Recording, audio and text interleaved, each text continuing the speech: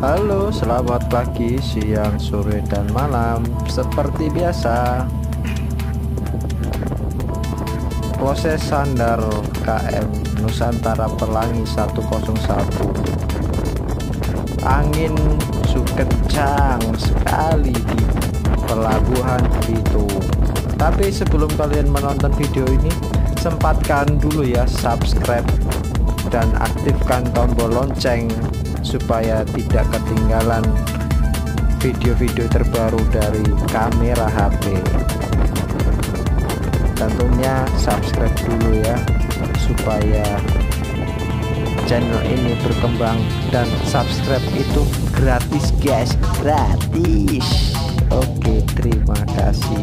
Selamat menonton proses KM Nusantara Pelangi 101